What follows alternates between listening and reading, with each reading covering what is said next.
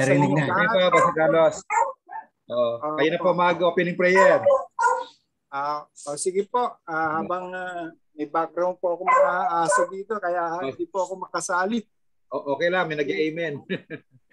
Pagkilang Diyos, Ama, nagpapasalamat po kami sa gabing ito at ah, minsan pa ay kami po ay nagka, nagkasama-sama sa gawain mo upang kami mag-aral ng iyong salita.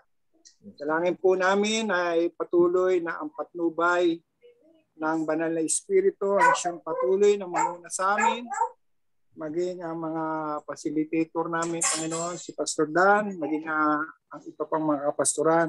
Samahan mo kami, bigyan mo kami ng isang pusong ah, ah, uunawa, isang puso handang ah, maturuan, Panginoon. At sa gabing ito, hayaan mong lalo ka, la- lalo ka naming makilala, Panginoon. Yes. At ah, lumalim kami sa pagkakaunawa at pagkaka ang aming relasyon sa iyo, O Diyos. At ang mahigit sa, ang higit sa lahat ay pagkaisahin po po kami sa gawain ito. Kaya mo ang isang pangalan lang ang mataas. Ang pangalan mo lang, Panginoon Jesus. At ah, kami po ay maingat na magpapalit sa iyo ng lahat ng papurit, kaluwalhatian, tanging sa iyo lang, Panginoon. Mm. Sa pangalan ni Jesus, lahat po ay magsabi ng Amen. Amen. Amen. Amen. Pagka, Amen. mapagpalang gabi po sa inyong lahat. Okay. Magandang gabi Okay. po sa lahat. So paki-mute na lang po ang ating ah, audio. At ah, last time bigla ko kayong iniwanan dahil uh, itinakbo ko po si Mrs. sa St. Luke's. At ah, praise God na operahan at ah, hindi pumutok yung ah, kanyang appendix, appendix. Pero naoperahan siya at nakalabas kami nung Sunday. So Thursday tayo nag-meet. Ah, Sunday po nakalabas siya. So, uh, praise God. Salamat po sa inyong pananalangin. At uh, ngayon, ang uh, maganda yung topic ni Pastor Joel, dalawa po ang topic niya. About the Lord Jesus Christ at saka yung kanyang present ministry. So, yung pong materials, uh, sorry, ngayon ko lang na ipasa, pinasa ko po sa CX1 at saka sa P40 Select Group. So, kung wala po kayong kopya, ay uh, pakibuksan nyo lang yung CX1 o yung ah, P40 Select Group para ma-download nyo po yung materials na i-discuss ni Pastor Joel.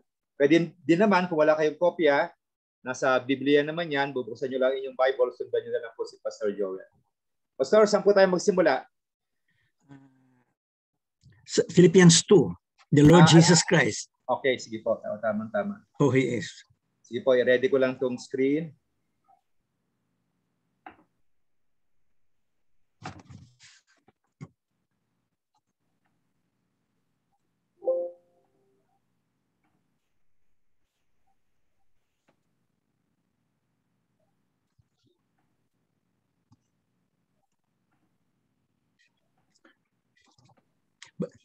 Okay, take it away, Pastor Joel. Go ahead. Okay, good evening sa ating lahat. Ah, meron akong mga babanggitin. Paminsan, yung mga salita na yan ay offensive. Ano? Kung ang tinutukoy ko ay Muslims, im na lang ang gagamitin ko. Im. Hmm. Kung Roman Catholic naman, RC. RC. Kung Iglesia, Inc. Hmm. The rest, halimbawa Mormons, 70, at iba pa, ah, sasabihin ko na yan kasi hindi sila militant type eh, yung mga taong ito. Okay. Ah, pag church planting, hindi talaga tayo makaiwas sa Bible doctrines. Kasi yung mga taong tuturuan natin, may alam na sila eh. Yung alam nila, yung naituro sa kanila. Eh since yung turo natin ay may kaibahan sa kanila, kaya maging doctrinal ang ating approach sa kanila eh. Talagang uh, teksto for teksto eh para makita yung kaibahan.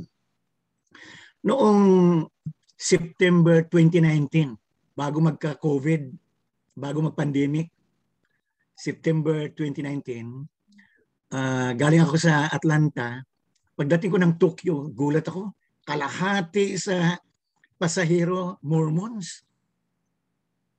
Yung Tokyo to Manila, laki ng eroplano, kalahati Mormons. Naka-Amerikana, may mga name tag sila. Oh. Eh, normally naman, nakipag-usap talaga ako sa kanila. Ang purpose na dito kasi may mga may mga matatanda na sila, may mga anak sila sa Pilipinas nagme-mission. And then, kaya pupunta rito, may dalang pera, pambili ng lote. Kaya mabilis yung kanilang uh, extension and expansion strategy dahil funded talaga ng almighty dollar. Oo, ganun sila. Kaya uh, ang atin naman, masipag tayo, bira na bira tayo sa ilalim ng kapangyarihan ng banal na espiritu. Kaya tuloy lang talaga ang mga gawain. Sa church planting, hindi makaiwas talaga yung doktrina. Most of these religious groups ayaw maniwala sa Trinity. Sa marami kong nakausap, hindi talaga pinaniwalaan ang Trinity. That there is only one God and this one God exists in three divine persons. Father, Son, and Holy Spirit. Pagdating sa Father, pinaniniwalaan halos lahat. Ang iba-iba lang pangalan. Pero pagdating kay Jesus Christ, questionable na. Pagdating sa Holy Spirit, lalo na. Eh, hindi tayo pwede umiwas eh. Pero we do it with love naman sa kanila. At saka pinapakita natin sa sa Bible. Sa New Testament, dami talagang turo tungkol kay Jesus Christ. Eh. Itong ating passage ngayon, ito ay classic passage on the dual nature of Jesus Christ, that He is both God and man. Philippians 2, verses 5 to 11. Lahat ng versions na check ko, lumabas talaga eh. Jesus Christ is God and Jesus Christ is man. Na hindi nahirapang unawain dito ang ink. Maging ang Jehovah's Witness at iba pa. Okay. Dito sa outline, who is Jesus Christ? Number one, He is God. Sa verse 6. Who in being in very nature God. Very nature God. Kaya lino, sinabi talagang si Kristo ay God. Who being in very nature God did not consider equality with God something to be used to his advantage. Yan ang binanggit ng NIV. Ngayon sa outline natin, meron ako mga dagdag. Example, what the apostles say about Jesus. Ano ang tingin ng mga apostles who are close to Jesus Christ about Him? Okay, sa John 1 verse 1, si John ang sumulat, ano? Jesus was the Word and the Word was God. Kaya si John naniniwala na God si Jesus Christ. The Word was Jesus' first communicative name. Kasi hindi mo unawan ang Diyos pag hindi siya magpakilala. Kaya pinadala si Kristo, si Kristo nagpakilala sa Ama at sa kanyang sarili. At ang unang tawag sa kanya ay the Word. Ang John chapter 1, ano rin eh, God si Jesus Christ sa katao. John 1.1 at saka John 1.14. Kaya maraming passages sa New Testament na nagko-connect talaga. Jesus Christ is God, Jesus Christ is man. John 1.14 yan. Ngayon, si John nagsabi, and the Word was God. Sa John 20.28, ito naman si Thomas. Si Thomas. Sabi ni Thomas, My Lord and my God. Dito nakausap ko yung ink, no? Kasi hindi na matanggap na God si Jesus Christ. Nabigla lang daw si Thomas kaya nasabi niyang, My Lord and my God. Sabi ko, nabigla? Eh, walang sinabing nabigla, basta sinabi, My Lord and my God. Kaya kami pinaniwalaan namin na God si Jesus Christ. And then si John uli, uh, pakidagdag lang sa outline na wala yung first John chapter 5 verse 20. Very strong proof ito ha. Of the deity of Jesus Christ? Okay, letter C, John said, Jesus is the true God and eternal life. First John 5:20. And then later day, Paul said, Jesus the Messiah is God. Romans chapter 9, verse 5. And then later E, Paul said, Jesus is our great God and Savior. Titus 2, verse 13. Nag-appear talaga yung God. He, Jesus is our great God and Savior. Titus 2.13. Then letter F, yung Heavenly Father.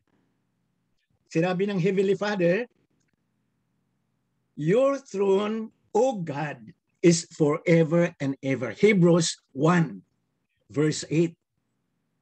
Dito malinaw ang God the Father ang nagsabi regarding Jesus Christ.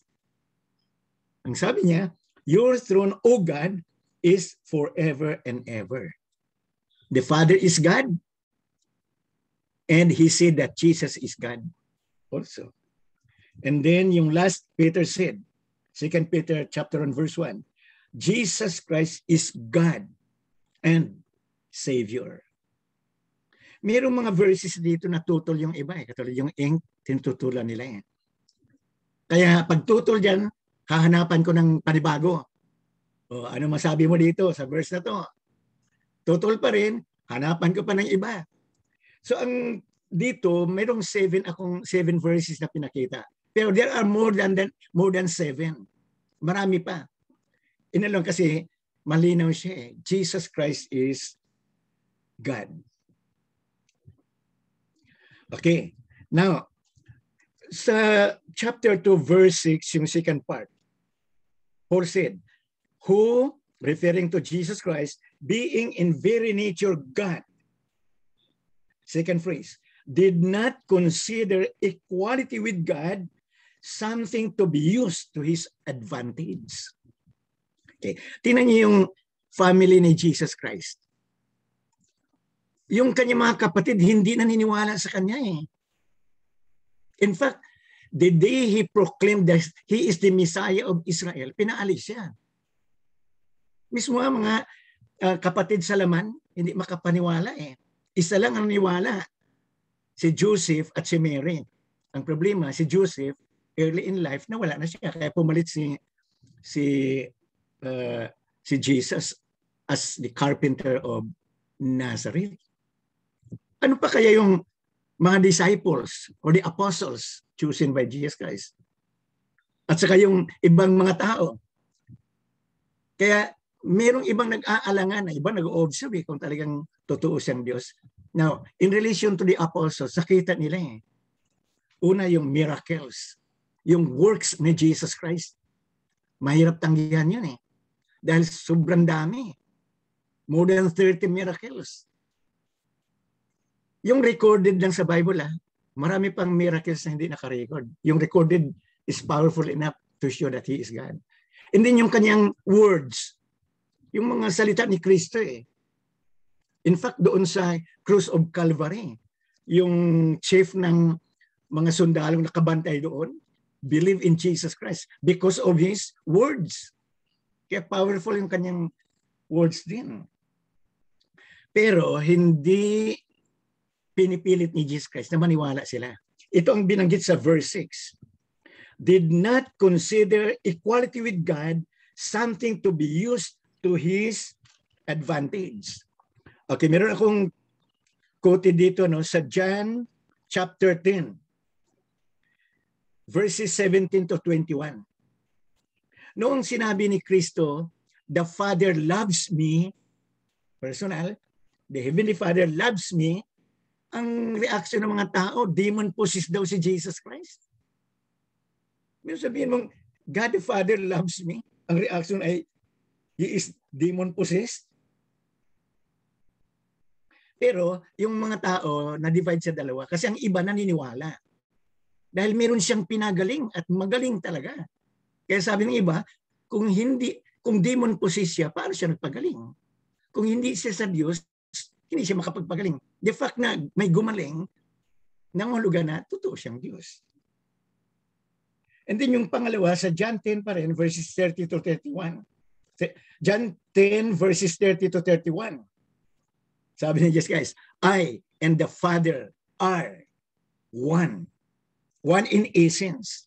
Kung ang Father ay God, God din siya. So anong ginawa ng mga tao? Sinubukan siyang batuhin. Merong batas kasi ang mga Hudyo sa lumang tipan, if you are guilty of blasphemy, patayin ka by stoning. Batuhin ka hanggang mamatay ka. Eh para sa kanila, isa lang talaga ang Diyos. Referring to Yahweh. Nung sinabi ni Kristo, the I and the Father are one. Nangulugan na equal siya sa God the Father. Equality. Okay. Hindi pinipilit ni Kristo na paniwalaan siya. Ito ang binanggit ni Apostle Paul sa verse 6. Who being in very nature God, did not consider equality with God something to be used to his advantage. So it's up to the person. Maniwala kayo o hindi, doesn't matter. Basta gumawa siya ng himala to prove that he is God and then yung kanyang mga salita. So nasa mga ta- tao na rin. Noong si Kristo ay nagkatawang tao, talagang tao siya. Paggabi, tulog. Pagising sa umaga, ligo, tapos trabaho. For the first 30 years of his life, talagang normal. Normal human being si Jesus Christ. Kaya, kung ayaw siyang paniwalaan kasi ang nakita yung pagkatao, nasa kanila. Alam mo si Kristo sa sa Gospels, He is a perfect gentleman. Hindi niya talaga pinipilit ang tao. Kaya nasa tao na rin kung maniwala ka o hindi. And so I believe in divine sovereignty and I also believe in human responsibility. Kaya balanse. Sovereign God. And then, uh, ang tao ay merong panagutan. He has to to believe in Jesus Christ. And then number two, medyo mahaba-haba itong number two kasi seven, eight, at saka maraming punto siya eh. Jesus Christ is man. Sa NIV Bible, ito ang sinabi. Rather, He made Himself nothing by taking the very nature of a servant. Sa NIV, lumabas yung words nature. He is by nature God. And then sa verse 7, taking the very nature of a servant, being made in human likeness and being found in appearance as a man.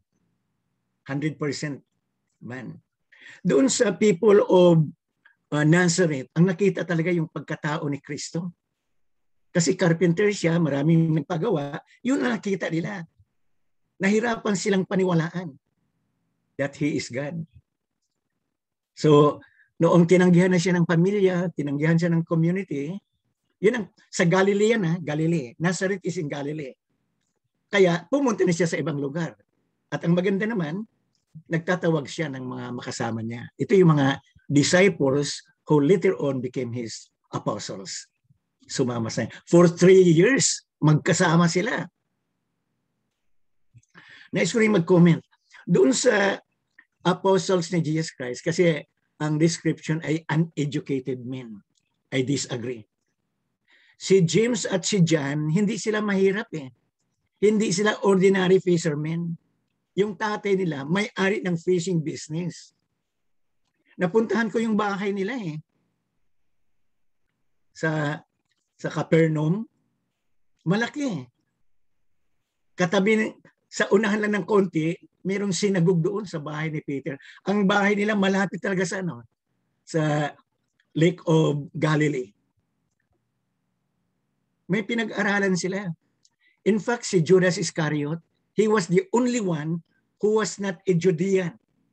He was from Keriot. Ano trabaho niya? Siya ang accountant. Kung sa atin pa ngayon, malaking katukulan, no? Kaya hindi pwede sabihin wala silang pinag-aralan. Kala ng iba, ganun yung mga alagad, no? Pero sa Book of Acts, may mabasa ka. Pero yung salita, accusation. Who are these people? They are unlearned. Pag nagsalita ang tao, hindi nangulong paniwalaan mo agad. baka yung accusation baseless. Pinili ni Kristo kahit sino pwede sumama sa sa kanya. Okay, naunawaan ng mga alagad yung pagkatao ni Kristo kasi 24 hours magkasama sila eh. And then along the way nakita niya yung pagka-Diyos niya. There was an incident in the life of the Lord Jesus Christ na 'di ba uh, sabi ni Kristo kay Pedro, saan kayo galing? Ah, nangisda po. Oh, kumusta ang ang pangisda niyo? May nahuli ba? Wala. Ito nangyari after the resurrection of Jesus Christ. Okay. Doon sa gitna ng lake, wala silang nahuli. Pero sa dalampasigan, sinabi ni Kristo, oh, ibaba ang lambat. Diba? Isip si Pedro, marunong ka pa sa akin. E ako ang fisherman eh. Ikaw carpenter eh. Pero nang binaba ang lambat, sandali lang ano, napuno. Malalaki. Alam niyo dito, kita yung yung sovereign control of the Lord Jesus Christ. Nung mangisda sila si Peter kasama yung ibang mga alagad, sabi ni Jesus Christ sa mga isda, alis kayo dyan. Alis. Dito kayo sa dalampasigan. Kaya throughout the night, ng isda, walang huli. Pinaalis ni Jesus Christ yung mga isda doon sa gitna ng lawa. Nung nasa dalampasigan na, maraming nahuli. Di ba, isang example yan that Jesus Christ is sovereign and He controls the laws of nature. He is God. Pero asma, nakita nila yung pagka-tao ni Kristo. Okay, I will read again. Verse 7. Rather, He made Himself nothing by taking the very nature of a servant. Yung word servant, madalas makita yan, mabasa yan sa Isaiah. Ang description ng Messiah is a servant of God. Truly, he is a servant talaga servant of the Father. Kung anong sinasabi ng Father, susunod siya. Hindi nang hulugan, hindi siya Diyos. Kung hindi, yun ang napag-usapan nila. So prior to the creation of the universe, yung three persons of the Godhead, meron na talaga silang pinag-usapan. Dahil si Kristo magkatawang tao, susundin niya yung mga pinag-usapan nila. Di ba? On the night prior to his crucifixion, yung Thursday night, doon sa Garden of Gethsemane, yung request ni Jesus Christ, Father, if it be possible, let this cup of suffer, suffering pass from me. But your will be done. Talagang He is a servant. Kaya pag ikaw ay lingkod ng Diyos, be like Jesus Christ. Nais kong i-advertise yung lesson next week. Ito ay sagot ito sa uh, tanong ni Grace, yung disciple, discipleship. Nagawa ko na yung unang lesson, Matthew chapter 10, verses 24 to 42. Four pages. Eh. Papadala yan within the week. And then yung question niya sa Luke, Luke chapter 9, meron pang isa, Luke chapter 14. And then meron din sa John. Puro discipleship yan. Kaya pag mapag-aralan yon, hindi lahat ng Kristiyano ay disciples of Jesus Christ. Lalo na yung walang servant spirit. Si Kristo, nung magkatawang tao, servant siya. Ang Christian worker should be should have a servant spirit also. By taking the very nature of a servant, being made in human likeness, talagang tao siya. Verse 8, and being found in appearance as a man, he humbled himself he humbled himself. Okay. Yung kanyang uh, spirit of humility, ano? Unang-una, biro Diyos ka, magkatawang tao.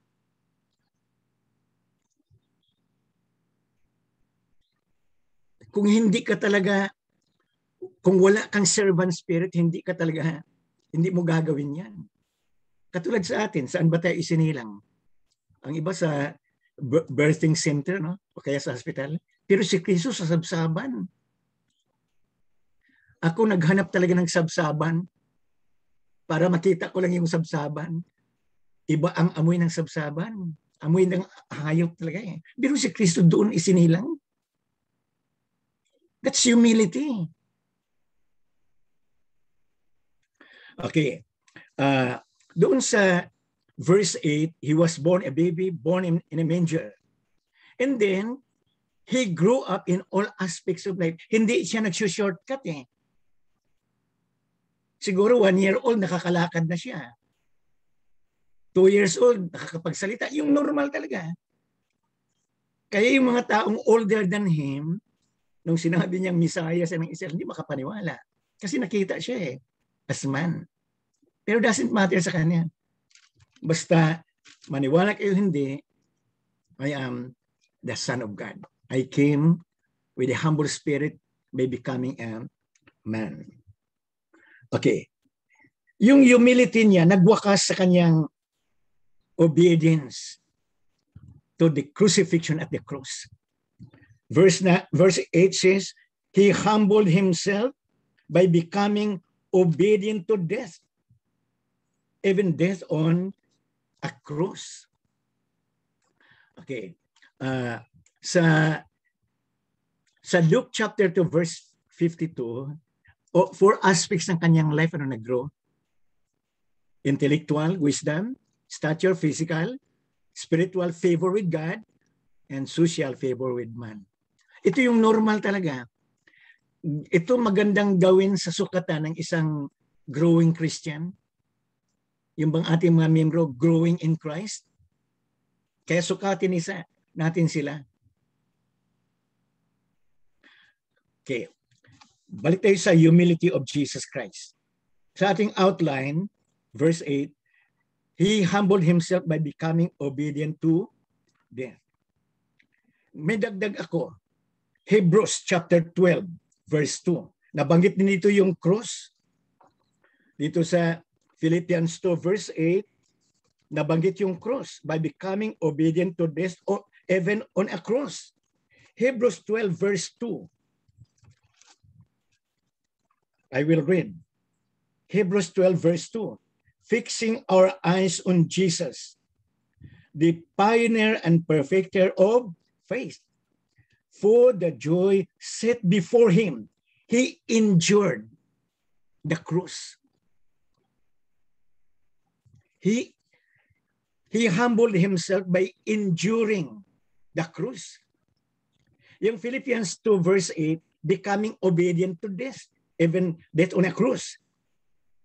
Sa Hebrews 12, first part of verse 2, he endured the cross. Pag ikaw ay napako sa krus, malaking kahihiyan yan. Bakit? Kasi sa ibabaw ng ulo mo, nandoon yung accusation against you. Kaya sa Hebrews 12 verse 2, dinugtong eh. For the joy set before him, he endured the cross, is scorning its shame. Hindi lang endurance doon sa cross, kundi yung shame. He scorned the shame of the cross. Kaya ang cross, dalawa, good news and bad news. Good news, kasi ikaw na makasalanan, kinuha ni Kristo, siya ang namatay para sa iyo. Yan ang good news. Pero ang good news, ang krus ay kabayaran, kahihiyan. At para kay Kristo hindi madali. Six hours siyang nakabayubay sa krus. May mga sugat. Sa sunod na pagkakataon mag-share ako sa inyo yung Isaiah 52 at saka 53, yung prophecy. Masasak, anong una kong binasa, nasak, nasaktan ako eh. Dahil mahirap pala ang dinaanan ni Kristo. Yung cross. Kaya yung makikita natin na crucifix, hindi yun itsura niya. Sobrang nabugbog yung kanyang kanyang katawan, lalo yung kanyang ulo. Ginawa niya yon dahil kailangang mabayaran ng ating kasalanan. Kaya ang kabayaran, both physical and spiritual. Kung physical lang, hindi na bayaran yung spiritual na utang, kasalanan. Kaya both talaga. Spiritual and physical. Now, going back to, hindi kasi batas ng mga Hudyo na ang taong guilty of capital punishment ay ipako sa krus. Hindi yan ang paraan nila eh. Ang crucifixion, paraan ng mga Romano. Since ang ang Judea is under the Roman Empire, pinatutupad yung batas ng Rome. Kaya if the person is guilty of capital punishment, ipako talaga siya sa krus. In fact, sabi ng mga historians, halos araw-araw may ipinapako sa krus. Nagkataon nga lang sa crucifixion ni Christ, may dalawang kasabay siya. Tatlo sila. Pero iba ang accusation against him. There was a time na 7,000 pinako sa krus in one day under the order of General Barros. So para sa kanila, normal na ipako sa krus pag guilty of capital punishment. Eh, para sa mga Hudyo, yung you claim to be the Messiah of Israel and you equated yourself equal with God the Father, that's blasphemy. Kaya yon ang hindi nila matanggap. Aside from blasphemy, mayroon pang ibang accusation against Jesus Christ. Tanggap naman ni Jesus Christ, anong sasabihin mo? Okay lang. But that doesn't mean na totoo yung sinasabi nila. Okay. He humbled himself by becoming obedient to death, Philippians 2.8, by enduring the cross, Hebrews 12, 2a, and by scorning the shame of the cross, 12.2, verse letter B. Kaya hindi madali ang cross. Pero ang tataka ako ngayon, ang balas ko narinig, yung kamatay ni, ni Kristo sa cross, parang simple na lang. Simpleng paliwanag, simpleng pag-unawa. Pero when you dig deeper in the Bible, hindi.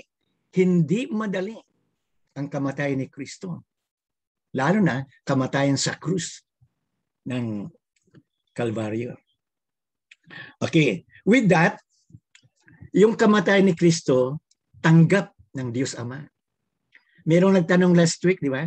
Yung propitiation or atoning sacrifice. Another word for that is satisfaction. Yung kamatayan ni Kristo, na-satisfy ang God the Father. Kasi buong buo yung pagkabayad sa kabayaran ng kasalanan.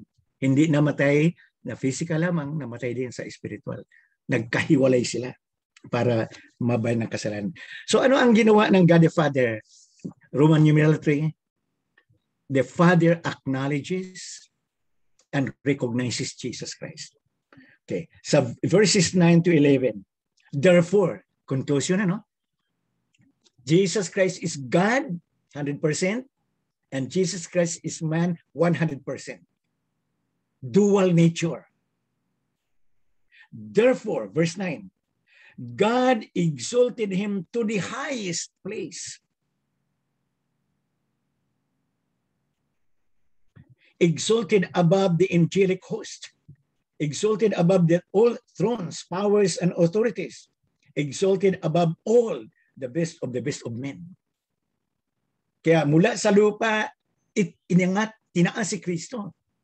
Above all. And then verse 9, uh, uh, verse 9, Therefore God exalted him to the highest place and give him the name that is above every name, that at the name of Jesus. Comment ako dito sa RC alam mo matagal na matagal ko nang alam na pinagbawal sa RC ang isang anak na pangalan ng Jesus. Pinagbawal na sa kanila yon. Ang kanilang desisyon nakabatay sa survey nila. Nung mag-survey sila sa kulungan, Manila City Jail, Pasay City Jail, at sa Muntinlupa, maraming nakakulong na ang pangalan ay Jesus. With that, Pinagbawal yung pagpangalang Jesus para hindi madamay ang pangalan ni Kristo. Mukhang tama sila dyan.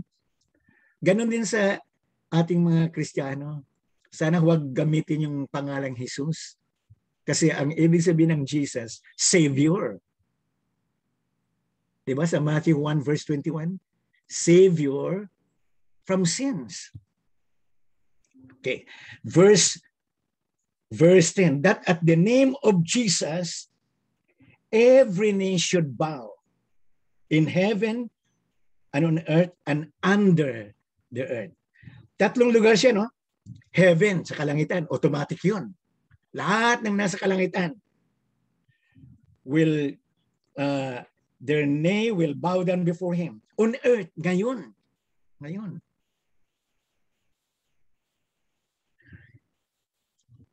Uh, last month, sa YouTube, nabasa ko yung merong NBA player ng Orlando Magic. Ang pangalan ay Jonathan. Jonathan Isaac. Hindi siya nagpabakuna. Tinayuan niya talaga yung kanyang conviction eh. Okay.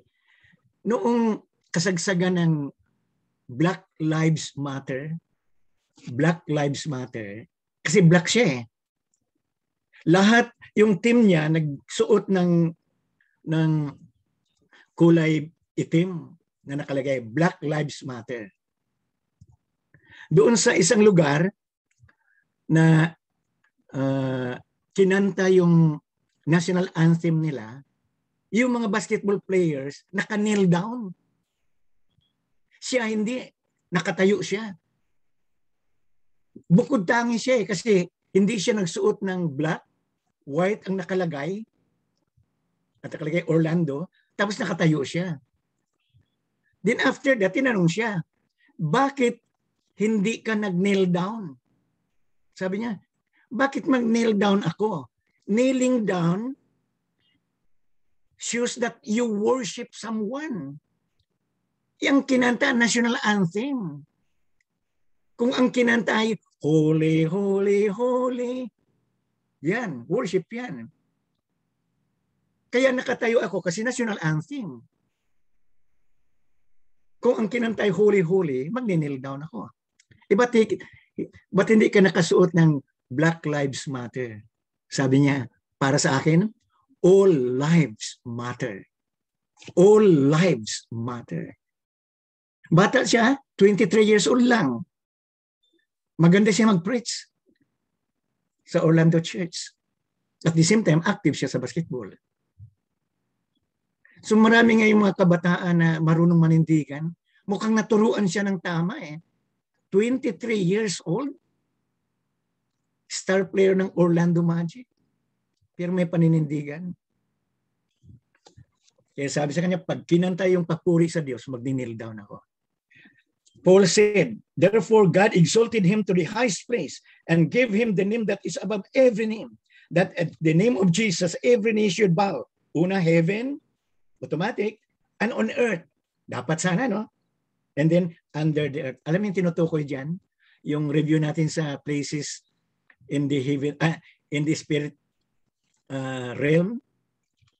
Kahit yung mga tao ay nasa impyerno na, mga anghel nasa impyerno na, magni-kneel down pa rin yan sila kay, kay Jesus Christ.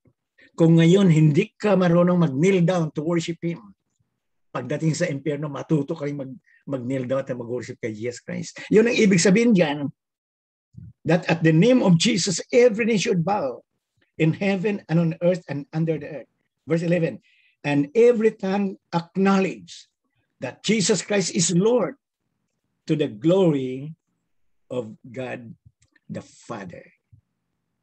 Yung word Lord is kurios. sa first century Christianity, pag sinabi mong Jesus is Lord, delikado buhay mo. Kasi may Lord sila eh. Caesar is Lord. Nero is Lord. Pag sinabi Jesus is Lord, delikado buhay mo. Pero nagawa nila, no? Jesus is Lord. To the glory of God the Father. Kaya pag sinabing Jesus is God, Theos, Lord Koreos, powerful yan. He is not only Theos, but he is also Koreos. Subject of worship. and service. Kaya itong chapter 2 ng Philippians, classic passage ito kasi pinakita yung deity of Jesus Christ and His humanity. Inacknowledge yan ng God the Father. Okay, mag-review lang ako. Uh, meron akong cited na mga verses dito, pero not enough, ano? Mas maganda, marami pa rin tayong alam that Jesus Christ is God. Yung Jesus Christ is man, tanggap ng marami yan. Yung pagka-Diyos ni Kristo talaga ang pinagtatalunan. Akipayo lang. Ipapabasa ko yung verse, nasa kanya ang paliwanag. Hindi ako magpaliwanag. Tatanggapin niya o hindi. Tapos, kung hindi siya kontento, hanapan ko pa ng iba. Ay, basahin niya, magpaliwanag siya, hanapan ko pa ng iba. Ang ibig sabihin, maraming prueba sa Bible that Jesus Christ is God. Nakapagtataka sa ating panahon ngayon, kini-question yung deity of Jesus Christ. Kaya ako, pinabaan ko yung listahan ko. Lahat ng verses na nag-appear na Jesus is God, pinagsama-sama ko para malakas na pwersa patunay sa kanya that indeed Jesus Christ is God. Kasi yun, ito yung point of question eh. Is Jesus Christ God? Kaya dapat maka ma-prove natin yan. Pagkatapos Holy Spirit naman is God. Yung kanyang mga attributes, saka yung kanyang mga characteristics. Okay. Pastor Dan, tuloy na tayo sa second part ng ating lesson. The present ministries of Jesus Christ in heaven.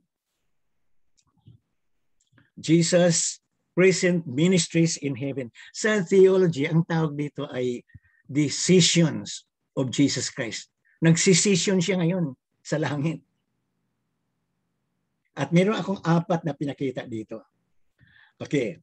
Uh, sa Acts chapter 2, merong isang sermon si Simon Peter. Doon sa sermon niya, di ba ang ending ay 3,000 were baptized? At yun ang pasimula ng Christian church. Kaya ang first church ay naitayo sa Jerusalem. 3,000 were converted and were baptized and incorporated into the local church. Yung sermon ni Kristo, pinakita ah, that Jesus Christ is God and He is man also. Sa verse 23, His crucifixion. Verse 24, His resurrection. Sa verse 33, His exaltation. So itinaas yan ng Diyos Ama sa kalangitan. His exaltation to the right hand of God. Okay. Sa New Testament, pag sinabing right hand, paminsan si Kristo nakatayo, paminsan nakaupo. Pareho yan. Kaya talagang mobile. May panahon na nakatayo siya, may panahon na nakaupo. Marami kang verses na mabasa tungkol dyan. The fact that He is at the right hand of God the Father, what is He doing now? Anong ginagawa ni Jesus Christ ngayon? Okay. Number one, He is our mediator. In my study of the scriptures, nakita ko na bago pala banggitin yung pagiging Savior ni Jesus Christ, dapat ma-prove muna yung kanyang pagiging mediator bago Savior, mediator muna siya. Okay, 1 Timothy. 1 Timothy chapter 2 verse 5. Pero actually hanggang 7 yan. Sa verse 5 binanggit. 1 Timothy 2 verse 5. For there is one God. Yung one God dito that refers to the Father there is one God and one mediator between God and mankind. The man, Christ Jesus. O another proof na si Kristo tao ha. Binanggit dito sa verse 5. The man, Christ Jesus. Pero ang description sa kanya ay mediator. Mediator. Okay. Meron kasing hindi magkasundo eh. Ang Diyos at tao. Ang Diyos ay banal, ang tao ay makasalanan. So hindi pwede pagsamahin yung kabanalan at kasalanan. Kaya mayroong, mama, mayroong mamamagitan. At yung mamamagitan ay tanggap. Si Kristo tanggap ng Ama dahil si Kristo ay Diyos. Yung mga tao tanggap si Kristo dahil ang, ta- ang mga tao, tao. Both sides. Siya talaga eksaktong tulay wala nang ibang tulay papunta sa kalangitan maliban kay Kristo. Wala nang ibang daan papunta sa sa Ama, kundi si kay Kristo lang kasi tanggap siya eh. God and man at the same time. Kagadi sa isang Bible study ko, merong strong Roman Catholic siya eh. Pero dumadalo sa Bible study ko eh. Sabi niya kagabi, Pastor, paano naman si Mary? Kasi ako pa nagpe-pray, ang prayer ko through Mary before going to Jesus Christ. Sabi ko, uh, Esther, wala sa Bible yan. Isa lang talaga ang tagapamagitan sa Diyos at sa tao. Si Jesus Christ. Kasi, bakit naniniwala ka dyan? Kasi yun ang tinuturo sa amin. Binigyan ko siya ng information. Alam mo kung sino nagpasimula yan? Si Pope John Paul II and si Mother Teresa. Magkasabay kay, kasi yan eh. Mother Teresa at saka si Pope John Paul II, lah, pareho silang tanggap ng buong mundo, no? hinangaan ng buong mundo. Pero ang hindi ko nagustuhan, gumawa sila ng doktrina, yung katuruan, tungkol kay Mama Mary. Yung phrase na Mama Mary, sila ang pinagbulan yan eh. Ito yung doktrina nila. Jesus Christ, the mediator and the Virgin Mary is co-mediatrix with Jesus Christ. Kasi si Mary babae, kaya mediatrix. Jesus, the mediator, and the Virgin Mary, co-mediatrix with Jesus Christ. Ang ibang ang ibang version dito ay Jesus the Redeemer and the Virgin Mary co redemptrix with Jesus Christ. Yun ang pangalawang version. Pero ang original version, si Kristo ay mediator, si Mary ay co-mediatrix with Jesus Christ. Since ang nanay ay mas may authority sa anak, kaya hindi ka pwedeng dumikta kay Jesus Christ. Dadaan ka talaga kay, kay, kay Mary. Kaya tinan mo sa malaking bahay, tinanong ko siya kagabi eh, kasi malaki bahay mo, eh anong nasa pintuan sa labas? Ano nakalagay diyan? Jesus and Mary. O, tinan mo.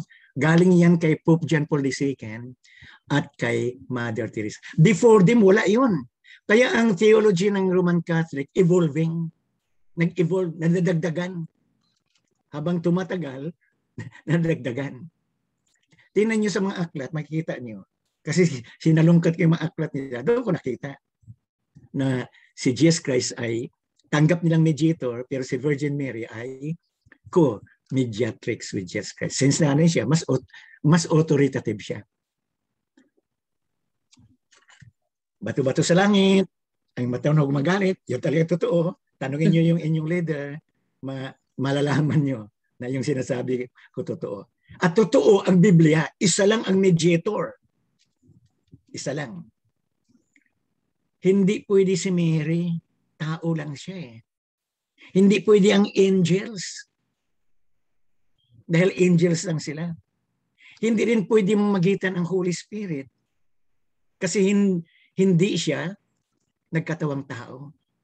Isa lang ang pupwede. Jesus as God-man. Diyos siya at saka tao. Alam mo si Apostol Pablo, sabi niya, dahil sa katutuan ito, yung mediatorship of Jesus Christ, dinescribe niya ang kanyang sarili sa tatlong descriptions. Okay, uh, mag-jump na ako sa verse 7. 1 Timothy 2, verse 7. And for this purpose, I was appointed. Kapag appointment ni Apostle Paul. Number one, a herald. Yung herald, parang si spokesman Harry Roque Anong gusto niyong malaman tungkol sa desisyon ng Malacanang o ng presidente? Ang magsalita, yung spokesman. Si Apostle Paul ay herald. Nagsasalita siya on behalf of Jesus Christ. Number two, he was appointed an apostle. Merong original apostles, yung 12, at meron ding another group ng mga apostles. Pag binasa yung Book of Acts, si Apostle Paul, hindi siya part of the 12. Pero ba tinawag siyang apostle? Kasi may appointment siya. Pangalawa, meron siyang commission. Sa apostleship kasi, merong mga uh, uh, dapat madaanan ka. Una, nakasama ka kay Kristo at nakita mo siya. Eh si Apostle Paul, hindi, hindi nakasama. Pero nakita niya si Kristo. On the way to Damascus, di ba? Habang nangangabayo, nakita niya si Kristo, nagsalita sa kanya. So binigyan siya ng, ng commission. At naging part siya ng manggagawa ng Diyos. Inutusan siya, espesyal na pagkautos sa kanya. Kaya tawag sa kanya ay the sent one. Apostle or the sent one. Inutusan talaga siya. And then third, may binagit sa verse 7, And for this purpose, I was appointed a herald. Number two, an apostle. I am telling the truth. I am not lying. And a true and faithful teacher of the Gentiles. Teacher. Teacher. Herald, apostle, and teacher. Yan ang life ni Apostle Paul. Nice kong magdagdag. Sabi ng iba, si Apostle Paul ay hindi talaga siya nakapag-asawa at saka single for life siya kasi meron siyang gift of celibacy.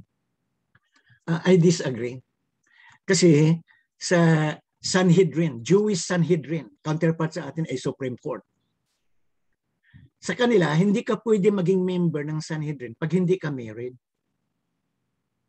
A member ng Sanhedrin si, si Paul. Uh, or yung name is Saul. Ibig sabihin, married siya. Walang binanggit ang Bible, pero pinalagay ng mga historians na nung ma-convert si Apostle Paul, namatay na yung wife niya. At dahil sa commission, di ba, ang appointment sa kanya ay maging apostle or traveler, itinerant, kahit saan-saan makarating. Kaya nga sa sa mga apostles, siya talaga ang pinakamaraming ginawa. Kasi church planter siya eh. Ako talagang uh, natutuwa ako sa mga church planters. Apostolic talaga yan na work. Ginagaya si si Paul. Kaya hindi na siya nag asawa muli. May anak ba siya o, o wala? Hindi, hindi natin alam eh. Pero, being a member of the Sanhedrin, married siya. Nung naging Kristiyano siya, single na, hindi, hindi siya nag-remarry. Pero pag nagsalita siya, parang single for life siya, no? No, I, I do not agree. Pero hindi nangulugan na pag mayroon kang family, sa gabal sila sa ministry. No, blessing pa nga yung family, no? Kasi hindi ka pwedeng hindi uuwi. Mayroon kang pamilya, may bahay ka, uwi ka talaga. Yun ating mga ginagawa. Si Apostol hindi. Kung saan siya abuti ng gabi, siya matulog. Hanggang sa nakulong at napugutan ng ulo sa city of Rome. Yan ang life ni Apostle Paul. At pinatunayan niya talaga that Jesus Christ is the mediator. Yung kanyang sinabing, I am a herald, I am an apostle and I am a faithful teacher. Ang unang tinukoy niya, Jesus Christ is God and man and mediator between God and the sinful humanity. Kaya mediator siya. Okay. Payo ko lang, bago talaga ituro yung Savior si Jesus Christ, para maging meaningful siya, ituro muna yung mediator. Isa lang talaga si Jesus Christ. Okay, number two, Acts chapter 4, verses 10 to, to 12. Acts chapter 4. Ito, very familiar. Nandito yung word Savior. I will read from the NIV Bible, Acts chapter 4, verses 10 to 12. Then know this, you and all the people of Israel, it is by the name of Jesus Christ of Nazareth, whom you crucified, but whom God raised from the dead, that this man stands before you healed. So ang background, mayroong may karamdaman at pinagaling. At ang nagpagaling, si Peter at si John, in the name of Jesus Christ. Kaya powerful yung name eh. Jesus Christ of Nazareth, whom you crucified, but whom God raised from and this man stands before you here. Jesus, verse 11. Jesus is the stone you builders rejected, which has become the cornerstone. Naalala ko yung ating first lesson, ano, Matthew 16, verse 18. You are Peter, and on this rock I will build my church. Dito sa 4.11 ng Acts, Jesus is the stone you builders rejected, which has become the cornerstone. And then 12, ito classic passage to. Salvation is found in no one else. For there is no other name under heaven given to mankind by which we must be saved. Pagdugtungin natin yung Acts 16, verses 30 and 31. Yung Philippian jailer, sa verse 30, nagtanong siya, What must I do in order to be saved? Ang sagot ni Paul and Silas, Believe in the Lord Jesus Christ and you will be saved. You and your family. Yung Acts 16 maganda no? Kasi akala ng jailer nakatakas na lahat kasi nag-earthquake eh. Nabuksan ang pinto. Kaya gusto niyang mag-suicide. Eh, sabi niya po, ay sandali, nandito kami lahat, walang nakatakas. Nung uh, may ilaw na, lumapit kay Paul, nagtanong, what must I do in order to be saved? Ang sagot, believe in the riches and you will be saved, you and your family. Idagdugtungan niyo no, yung passage, pag binasa niyo ang karugtong, makita niyo na kinulong uli yung mga mga prisoners at Paul and Silas at saka yung jailer pumunta doon sa likod kasi nandoon yung kanyang pamilya. Eh. Doon sa likuran, nag-Bible study sila. In fact, nung mag-uumaga na, binaptize pa sila, di ba? Kaya that day, merong bagong church. Sino ang naging pastor? Yung jailer, warden na siya, teacher pa siya. Kaya si Apostle Paul, hindi rin madaling umalis ng Philippi. Hindi siya madaling umalis. Kasi sa Acts 13, Maalaala niyo si Lydia doon sa river. Negosyante siya. Pinatuloy si Pablo sa bahay nila. Laking bahay, maraming mga household helpers na Bible study. Nagkaroon ng church sa bahay nila. Kaya dalawang church ang nabuo eh. Sa bahay ni Lydia at doon sa kulungan. Since nakiusap si Lydia ng Apostle Paul, huwag ka munang umalis. Kaya ang ginawa ni Apostle Paul, pinupuntahan din yung Philippian jailer. Palagi ko, araw-araw sila nagba-Bible study. Eh. Kaya ito dito yung with him principle, ano? Yung kahit sa maiksing panahon, magkasama kayo, turo mo na lahat. At nakabuo ng church. Sa dalawang churches ang nabuo as recorded in Acts chapter 16. Now, yung saviorhood ni Jesus Christ. Kasi kinokonek natin eh, Acts 16, 30, 31, at saka yung Acts 4, 10 to 12. Lalo yung verse 12. Salvation is found in no one else. For there is no other name. So, no other person. And number two, no other name. Yung person na yan is Jesus Christ. The only person that can save is Jesus Christ. The only name that can save is the name Jesus Christ. Salvation is found in no one else, for there is no other name under heaven given to mankind by which we must be saved. Okay, preview lang ito for next next Thursday. Isa sa palatandaan sa tunay na disciple ni Jesus Christ, yung hindi mahiyain pag ang pinag-usapan si Jesus Christ. Kaya yung Kristiyanong alanganin, no, madaldal sa ibang paksa, pagdating kay Kristo tamimi, nako, may pananagutan ka. Next week, madiscuss natin yan. Palatandaan yan ng isang Kristiyano ay disciple of Jesus Christ kung yung pangalan ni Kristo binabalita mo sa ibang mga tao. Hindi dapat ikahiya kasi ang salvation nasa person of Jesus Christ. Ang salvation nasa name of Jesus. Aside from Him, wala na. Ba't ikahiya natin? Isa lang ang Savior and He is Jesus Christ. No more and no less. Okay. Anong trabaho ni Jesus Christ sa kalangitan ngayon? Sa kanan ng kanyang Ama? Una, mediator. Number two, Savior. Number three, intercessor. Most of the time, pag pinag-usapan natin ang intercessor, nag-refer sa Holy Spirit. Agree ako dyan. Pero sa Bible, si Kristo tinawag ding intercessor. Sa Romans 8, makikita natin ang Holy Spirit intercessor. Makita din natin si Jesus Christ intercessor din. Okay. Romans chapter 8. Unahin natin si Jesus Christ. Is he an intercessor? Yes.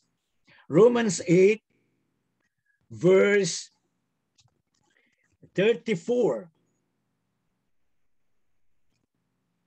hanggang 35. Okay, I will read. Romans 8, 34. Who then is the one who condemns? No one. Christ Jesus who died. More than that, who was raised to life, is at the right hand of God. O nasa kanan ng Ama. Anong ginagawa niya? And is also interceding for us. The intercessor siya. Christ Jesus, who died, more than that, who was raised to life, is at the right hand of God and is also interceding for us. Ano ang laman ng kanyang intercession? Yung kahirapan sa mundo. Lalo sa Christian worker, no? nahirapan na niya, suko na. Okay. May binanggit dito sa verse 35.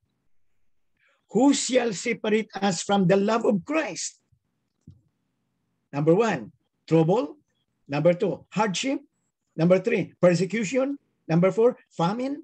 Number five, nakedness. Number six, danger. Number seven, sword. Pito yan. Itong pitong binanggit na to, mga negatives in the Christian life, sapat ba yan na ihiwalay tayo sa pag-ibig ng Diyos? Hindi. And that's the reason Jesus Christ is interceding for us. Mahalaga sa Diyos ang kanyang mga manggagawa.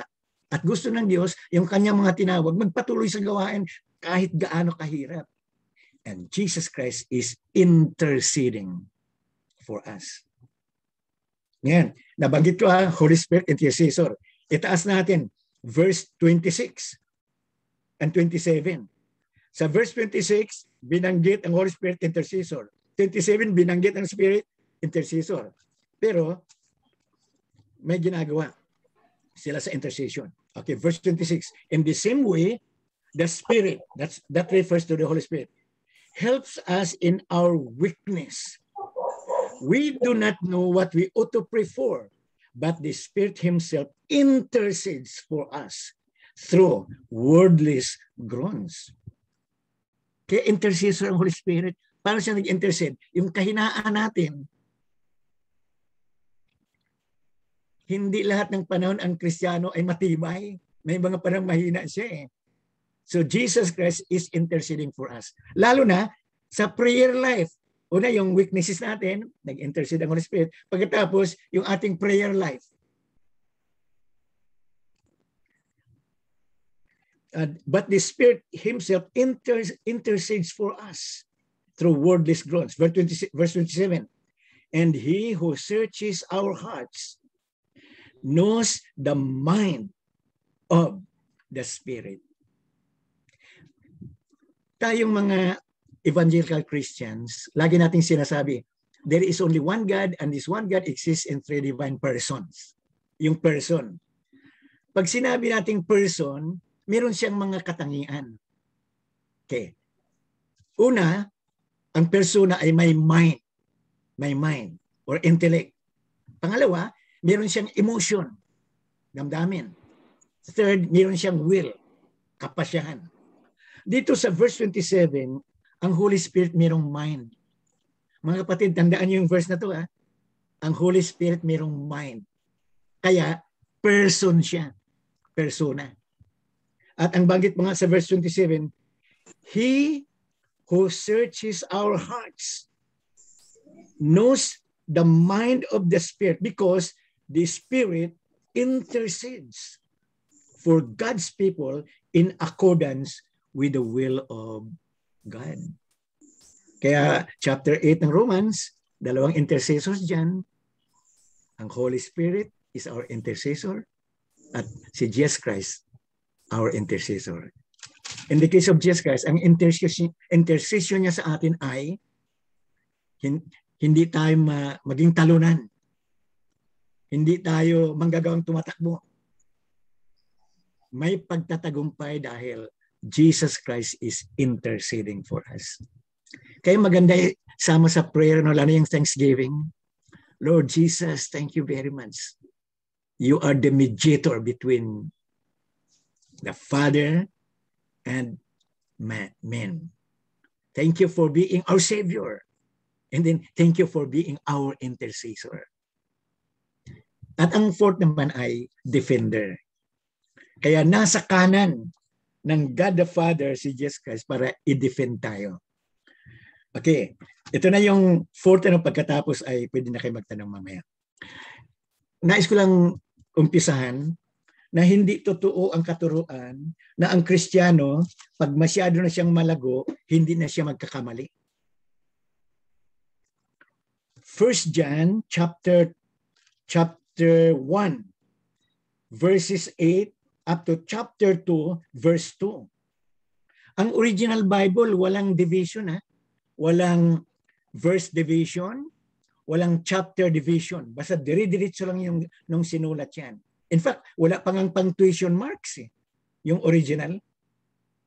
Kaya dito, isama natin yung chapter 1 verse 8 para mas maging malinaw ang chapter 2 verses 1 and 2. Okay. Ang Kristiyano ay isang taong makasalanan. He is a sinner. But when he receives Jesus Christ as his Lord and Savior, that person becomes a saint. Ang Kristiyano banal. Hindi na siya tinawag na sinner. Rather, he is a saint who occasionally sins. Kasi nandun pa tayo sa ating laman eh. Pag sinabi ng Kristiyano na hindi na siya magkasala, dinadaya mo ang iyong sarili. Okay, First John chapter chapter 1 verse 8, if we claim to be without sin, yung Kristiyano, sinabi niya without sin siya, we deceive ourselves and the truth is not in us. And then verse 10, if we claim we have not sinned, we make him out to be a liar and his word is not in us. Ito sulat to sa mga Kristiyano ha. Kaya sabi ni Apostle John, pag sinabi mong hindi ka na magkasala, oh, nagsisinungaling ka. Pag sinabi mo kang wala ka nagawang kasalanan, dinadaya mo ang sarili. Kaya nga ang verse 9, may provision. Pag ang Kristiyano nagkasala, mayroong provision. Ano ang dapat gawin? If we confess our sins, He is faithful and just and will forgive us our sins and purify us from all unrighteousness. Napagitna siya eh. Sa 8 and 9. Kaya it's wrong for a Christian to say na sindi siya at saka hindi na siya magkakasala. No, that's not what John says. Admit na nagkakamali ka pa rin. And then confess that sins to God. Ang bad news lang dito, pag nagkasala ang Kristiyano, nako, abala si Satanas ito yung panahon na si Satanas aakyat sa God the Father. Okay, chapter 2, verse 1. My dear children, I write this to you so that you will not sin. Amen. Ito yung kalooban ng Diyos sa Kristiyano. Don't commit sin. Now that you are a Christian, don't commit sin. Eh, ang problema, nananaig yung laman, yung kanyang uh, selfish life, yung kanyang flesh. Kaya nagkamali, nagkasala. Pero tinan yung kasunod, verse 1 pa rin. But if anybody does sin, we have an advocate with the Father, Jesus Christ, the righteous one. Sa ibang version, ang nakalagay ay defender. He defends us. Bakit? Pag ang Kristiyano nagkasala, aakyat si Satanas doon sa below the throne in heaven. Anong gagawin? I-accuse ang Kristiyano. Okay, this same writer ha, ang sumulat ng Revelation, yun din ang sumulat ng First John. Okay, so dugtong ito, chapter 12. Revelation chapter 12 verse 10. Then I heard a loud voice in heaven say, Now have come the salvation and the power and the kingdom of our God and the authority of his Messiah. For the accuser of our brothers and sisters, who accuses them before our God day and night. So dito abala si si Satanas pag nagkasala ang Kristiyano, ang malungkot pa ay dalawang Kristiyano nag-away. Ito ang tawa si Satanas. Dalawa ang mai-accuse niya. Yung nasa kanan, nasa kaliwa, nag-away sila. Punta siya sa God the Father, i-accuse yung dalawa. At lalo na, pag parehong pastor nag-away, o parehong missionaries nag-away, ito ang tawa si Satanas. Meron siyang point of accusation. Pero bakit si Kristo nasa kanan? Okay, verse 11. Revelation 12:11. The triumph over him by the blood of the Lamb. Kaya pag ang Kristiyano ay inakusa ni Satanas sa harap ng God the Father, sabi ni Kristo, binayaran ko na yan. Yung aking dugong nabuhos sa krus ay sapat para sa kanyang kasalanan. Kaya yung word titilistay sa English ay it is finished. Ang ibang salin ay paid in full. Yung kasalanan ng tao, lahat ng kasalanan, past, present, and future, binayaran ng buo. Paid in full. Yun ang ibig sabihin. Kaya meron tayong nakita ngayong gabi, kaya pala si Kristo ay he is he was exalted to the highest heavens. At nasa kanan ng Ama, paminsan nakaupo, paminsan nakatayo. Kanyang present ministry doon ay as mediator. Number two, as savior. Number three, as intercessor. Number four, as defender of Christians. Kaya mapalad tayong mga Kristiyano. Hindi lang winakasan ni Kristo ang ating kasalanan sa krus ng Kalbaryo Tinuloy pa niya sa kalangitan.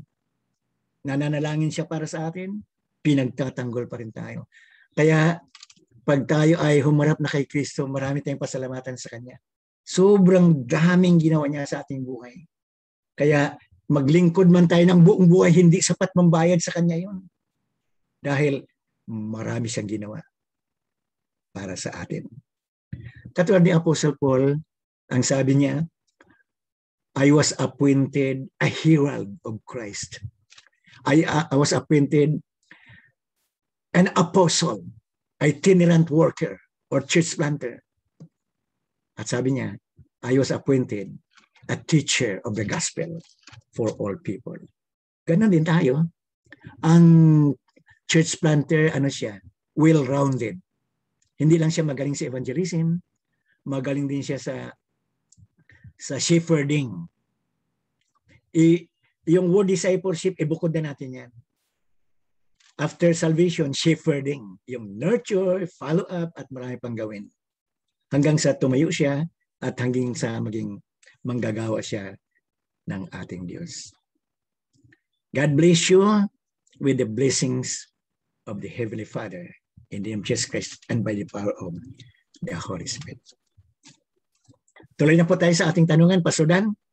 Amen. Pwede ba nga thumbs up dyan para kay uh, Pastor Joel? Yan. Yan. Thumbs up. Oo, yan. Salamat, Pastor. Thank you, Pastor, sa iyong pagtsatsaga sa amin. Yan. Malaking tulong. So, Pero kung gamitin nyo agad, lalong magaling. opo. So, Pastor, ay, ayos ka lang. Ayan, okay. So, yan, okay. So, 25 tayo ngayon lahat. Yan. So yung mga tanong po, yung may mga magtatanong ah doon sa mga na-discuss ni Pastor Joel. In the past, pwede pa rin magtanong. At ah, yung mga materials po ay uh, nandoon yun sa CX1 at saka sa T40 Select Group. Kung wala kayo ay message nyo lang po ako. Dadala ko kayo. So meron po bang tanong? Paki uh, raise hand lang po. Yan. Yan, ganyan lang. Oh. Yan. Ayan, si Pastor Bayani, may tanong po kayo. Go ahead. Okay, Pastor Bayani, you are recognized. Good, e- good evening po. Yes, Yeah. good evening. About po dun sa deity ni Christ po. Yes. Kasi madalas din itong natatanong sa aming mga pastor na ano po ang paliwanag niyo po rito na yung sa John 14:28 na sinasabi ko sa inyo, ako'y aalis ngunit ako'y babalik.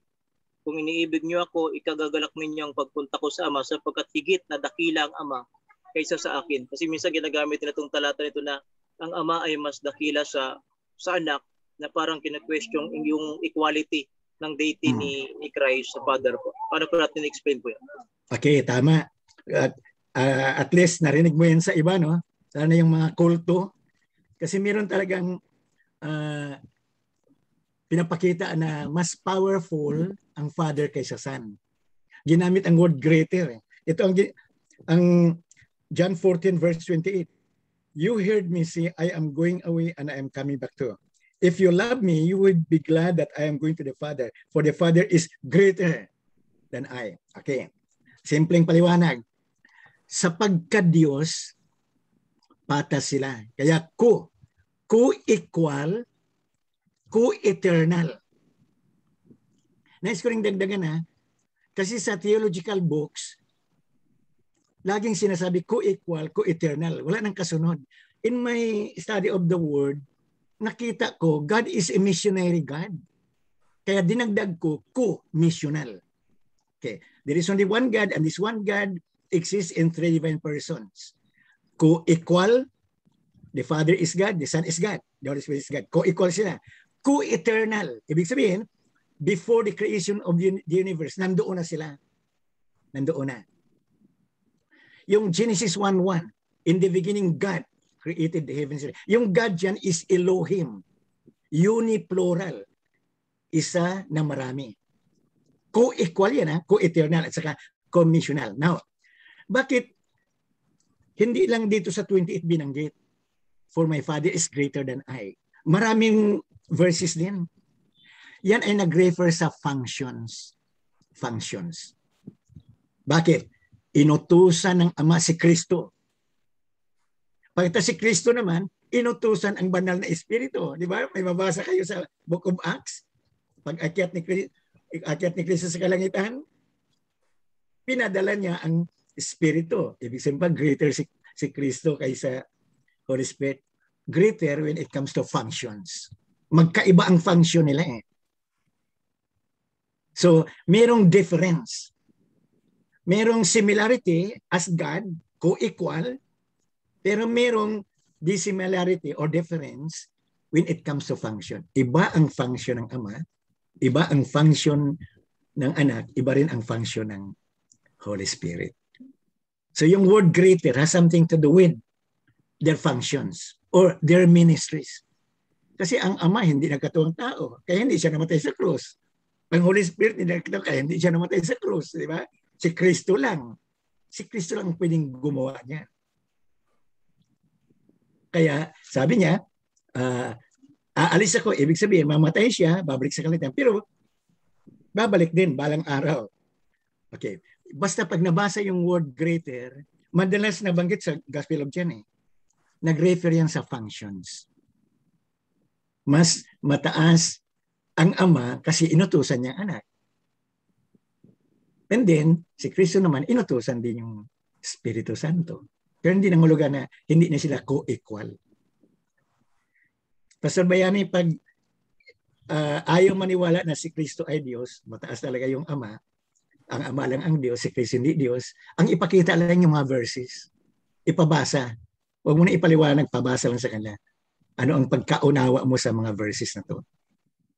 Yung deity of Jesus Christ. Bukod doon sa works ni Jesus Christ. Bukod sa works, ha? Yung words din ni Jesus Christ. Nagpapatunay that, that He is God. Marami pag pinagsama-sama, very powerful. Okay. Ulitin ko ha, yung word greater has something to do with the functions.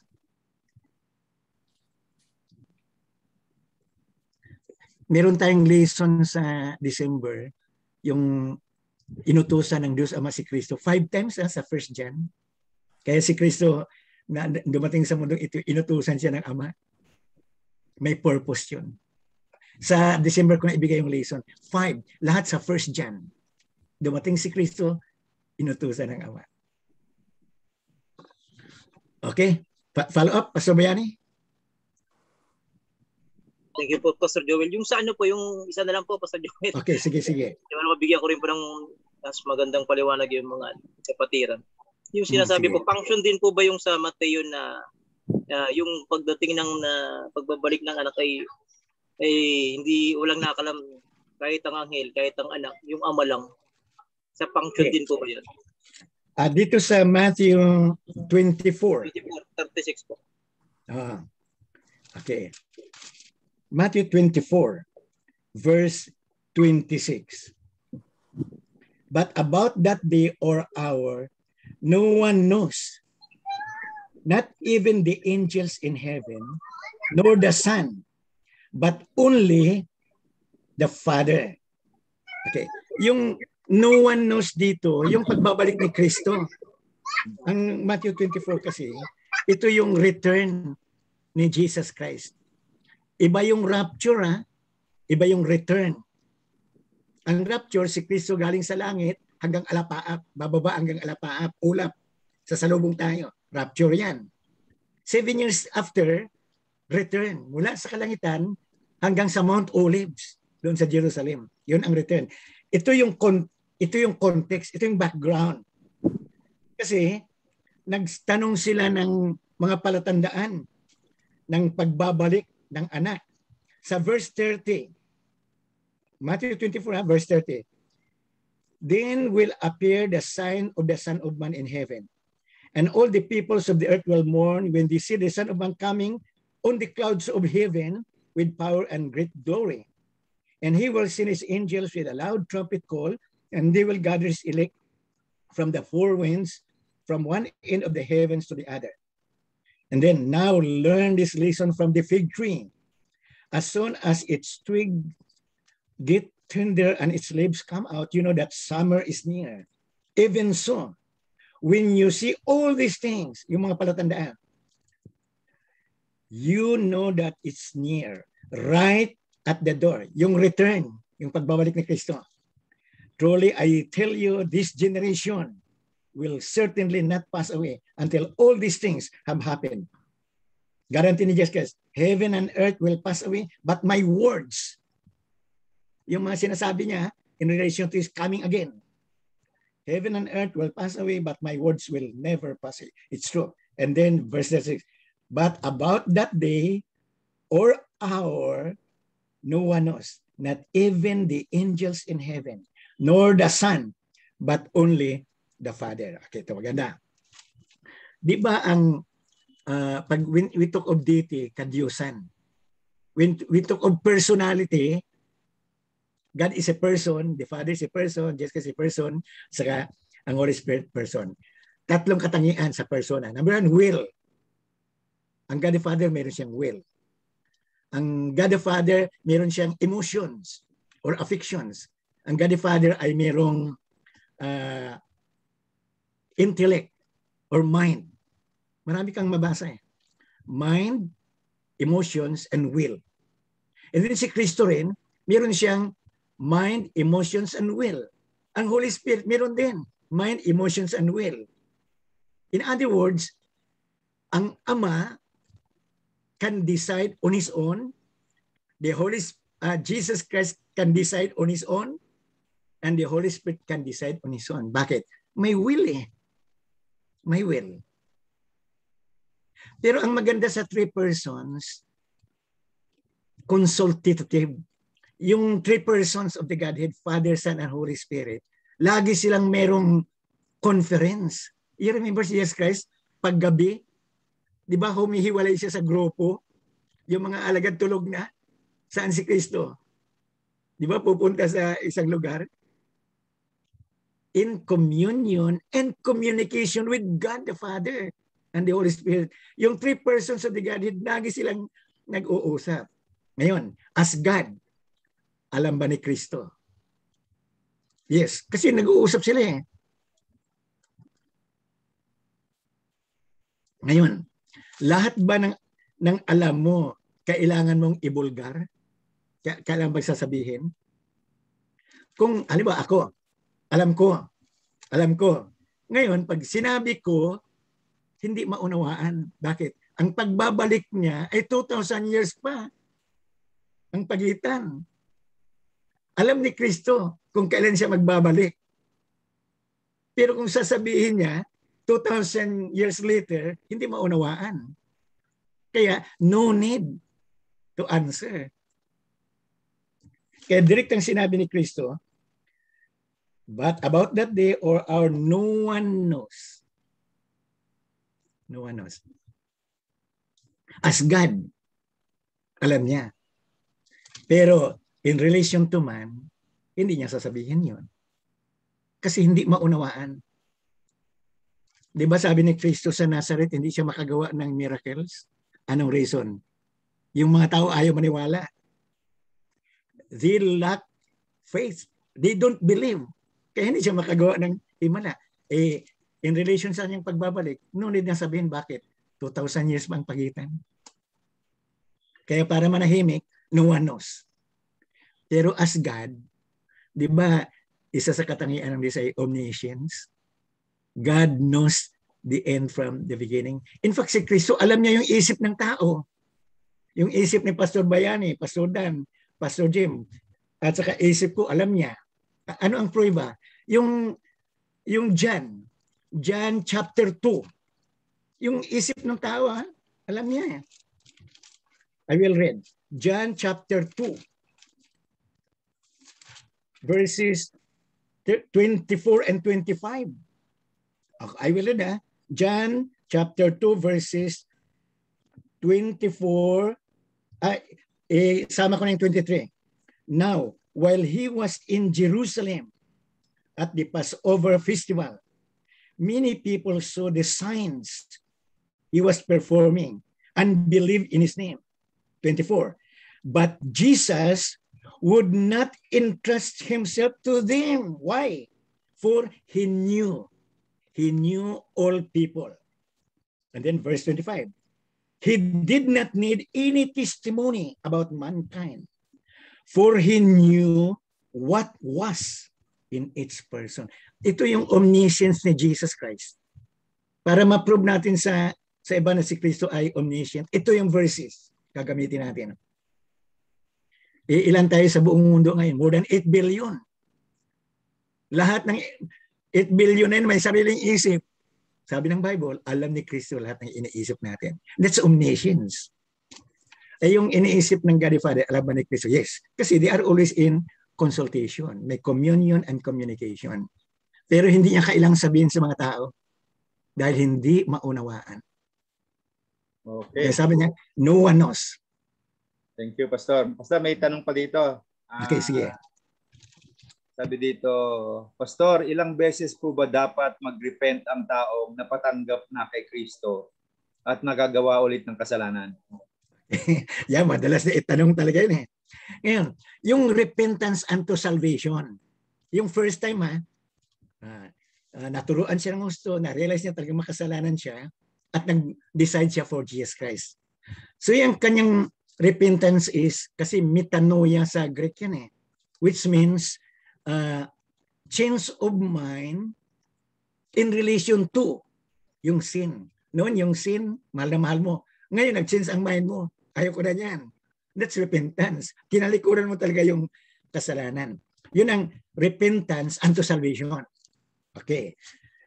Pero hindi kasi nanghulugan na tinanggap mo na si Kristo, totoo yung uh, repentance unto salvation mo, hindi ka na magkamali. May pagka, di ba first John kanina? First John chapter 1 verses 8 and 10. At saka basahin nyo rin yung Romans chapter 7, yung confession ni Apostle Paul. Ang gusto ni Apostle Paul, uh, lumipad at tumaas, umangat yung kanyang spiritual life. Pero nahihila siya ng kanyang human flesh eh. So nagkakamali pa rin siya. Okay. Now, uh, pagdating sa ang iba kasi pag sinabing kasalanan, yung malaki, malaking kasalanan nagawa. Paano i-define yung kasalanan? Ang kasalanan ay anumang bagay na hindi naaayon sa kalooban ng Diyos, yung will of God. Ito ba ay will of God sa buhay mo? Halimbawa, yung pag-aasawa, o pasok sa eskwela, o kaya apply ng trabaho. Ano ba ang will of God? Meron kasing specific will of God. Pag masunod mo yung will of God, hindi ka nagkamali. E kaso, madalas, ang will natin ang nasusunod, hindi yung will of Nagkamali tayo. Lalo na yung uh, nakagawa tayo ng masama sa kapwa. Sa salita. Salita, pagkatapos ay nagawa pa. Kailangan talaga ng confession of sin. Okay. Iba yung repentance unto salvation ha?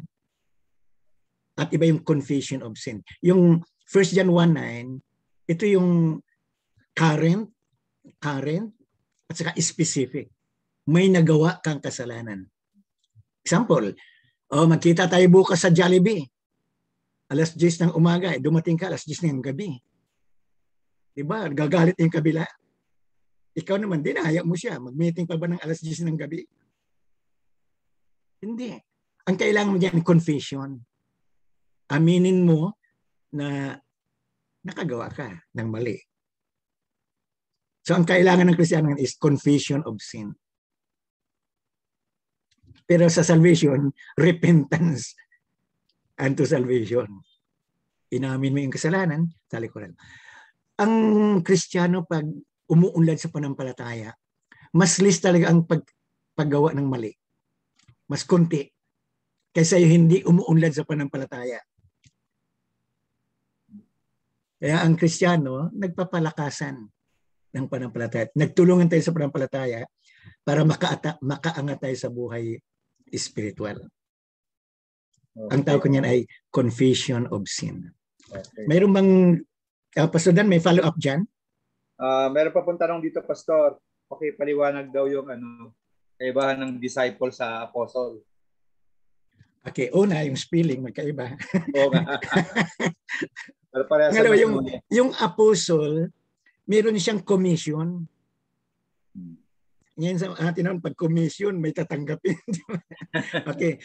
Meron, apo, ang ginamit kaya ni Apostle Paul, ano, yung appointment. Pareho lang yan, ha? Meron talagang tinawag ang Diyos at binigyan ng, ng gawain. Di ba sa life ni Apostle Paul, chap, Acts chapter 9? Sa book of Acts, three times niya binanggit yun eh. Nung makilala niya si Kristo, binigyan agad siya ng trabaho. So ang apostleship ay may appointment ang Diyos sa iyo at binigyan ka ng trabaho. At saka ang work mo is itinerant. Lahat ng apostles sa New Testament, itinerant. Hindi sila natili throughout life. Example, si si John. Si John naging pastor siya sa Ephesus. Pero dinakip siya, pinadala sa Patmos. So wala na siyang congregation. Eh malaki pa naman ang congregation sa Ephesus kasi pastor siya doon. Pero si John, talagang apostle siya. Pagdating niya doon sa Patmos, iyon ang lugar ng mga criminals eh. Yung mga public enemy number one sa siyudad ng Ephesus, doon pinapadala sa at Patmos. Pagdating niya din sabi niya, Praise the Lord, may bagong congregation ako. ang tinukoy niya, congregation ng mga masamang tao. Eh dahil kul- nakakulong siya doon, lahat ng taong um, malapitan niya, makasama niya, makausap niya, na-evangelize niya. Alam niyo, hindi nagtagal, dumami ang Christian sa Patmos. Dating masamang tao, naging Kristiyano at naging manggagawa ng Diyos.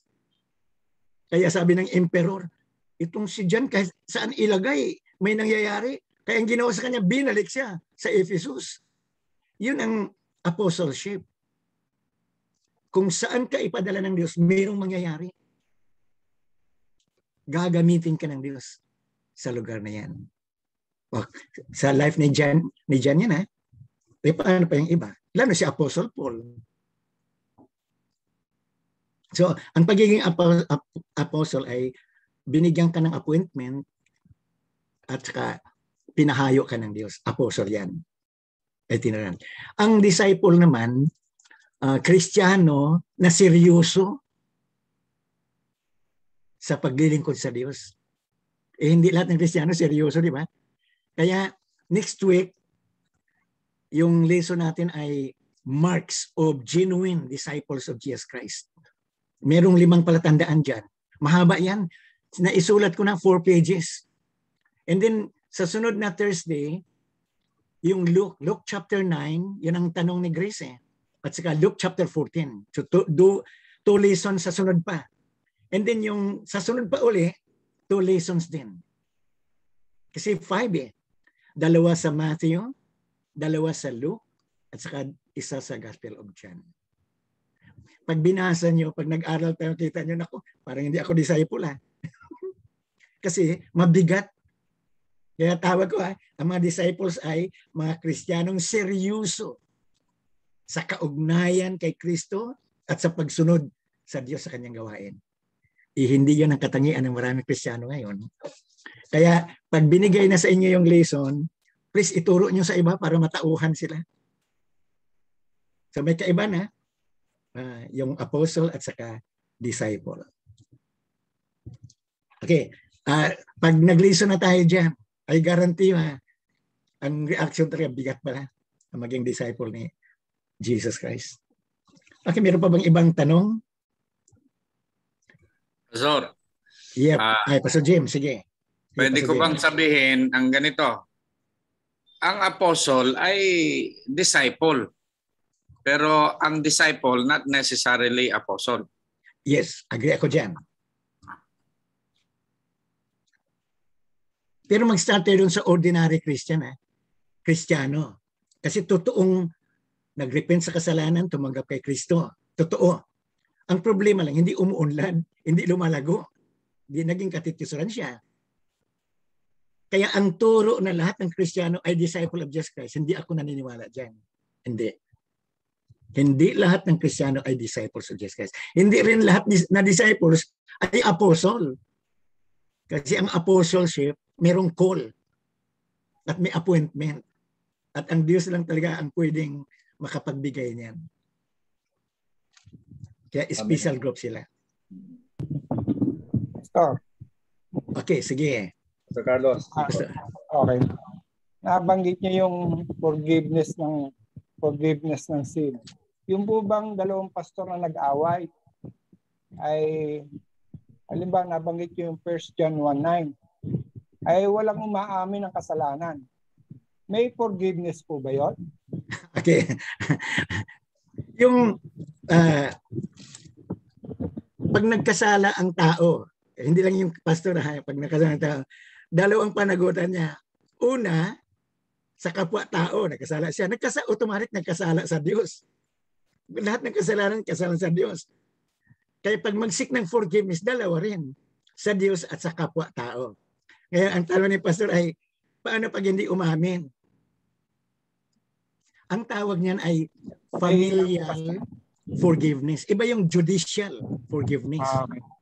Yung kaugnayan sa Diyos sa tao, kailangan ng judicial forgiveness. Ito yung legal legal side.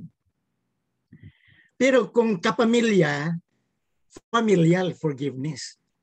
Kasi yung magkapamilya, pag nag-away, pamilya pa rin yan. Yun nga lang, hindi nagkikibuan. Hindi nagkikibuan kasi walang umaamin. Walang umaamin. Nais kong dagdagan na yung judicial forgiveness. Iba kasi ang batas sa Pilipinas at sa Amerika. Katulad sa Amerika, ang bawat governor may karapatang magpatawad at magpalaya ng bilanggo. Sa atin, Pangulo lang ang may karapatan eh. Sa state of Texas, uh, yung governor, nangyari to matagal ng panahon, sabi ng governor, malapit na ang birthday ko, gusto kong uh, magpat, magpalaya ng isang bilanggo. Kaya pumunta ka sa bilangguan at mag-survey ka. So lahat ng tinanong doon, ang unang tinanong, hindi daw siya nagkasala, napagkamalian lang daw siya. Lahat tinanong ha, walang umamin sa kasalanan. Yung huling tinanong, sabi niya, Hoy mama, ikaw ba'y nagkasala? Opo. Anong kasalanan gusto mo? Ang ibig sabihin, umamin siya, lahat ng kasalanan. Kaya ako talaga ang makasalanan. Hindi katulad nila, ganda ng buhay nila, ako talaga makasalanan. Yung inutusan, nag-report sa governor. Sabi ng gobyerno, salbahing tao, no? Palayain yung tao na yan, palayain. Kasi mahawaan niya yung iba. Yung matino doon mahawaan, kaya palayain siya. Alam nung bumalik yung inutusan, nagdala ng sulat. Sulat na sa gobyernor, binigay sa tao. Sabi niya, ito, eh, sinabit ko yung pangalan niyo lahat. Kayong 99. Uh, kawawa naman kayo, napagbintangan lang. Pero dahil hindi kayo marunong umamin, manatili kayo dito. Ito siya para hindi para hindi kayo mahawaan, palayain siya. Kaya mapalad yung taong marunong umamin sa kasalanan na palaya. So, yun ang judicial forgiveness. Pagkapamilya, familial forgiveness. Kaya, tinan nyo yung 1 John 1, no? if we, di ba, marami eh, kapamilya eh if we confess our sins, He is faithful and just to forgive us and to cleanse us from all unrighteousness. Familial forgiveness yan. Okay, may tanong pa ba? Basta may kasama kami lagi tumatakas kay Mrs. eh. Hindi ko na itatanong kung kasalanan. May tanong ako, Pastor. Okay, sige, sige. sige, Pastor, sige. Nung sinabi ni Jesus Christ na the Father is greater than I, hindi kaya ang ibig niya sabihin doon ay ano, uh, kasi nasa tao siya, nasa lupa siya, di ba? Mm-hmm. Uh, being fully, fully man.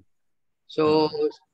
talaga nagpaka-humble siya na ano, ay tinaas niya ang ama na he is, uh-huh hindi niya nung naging nasa state siya na tao, hindi niya hindi niya ina, na equal sila ng dalawa. Kaya sinabi niya na uh, God the Father, my my Father is greater than I. Hindi kaya ganoon, Pastor?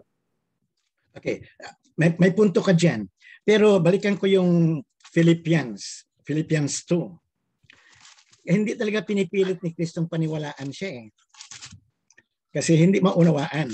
Philippians 2 verse 6. Who, being in very nature God, did not consider equality with God something to be used to his own advantage. Rather, he made himself nothing by taking the very nature of a servant, being made in made in human likeness, and being found in appearance as a man, he humbled himself by becoming obedient to death, even death on a cross. Okay, Tama. Uh, kahit sabihin ni Kristo, ayaw nilang maniwala. Kasi kailangan lang prueba eh. Kaya gumawa siya ng miracles.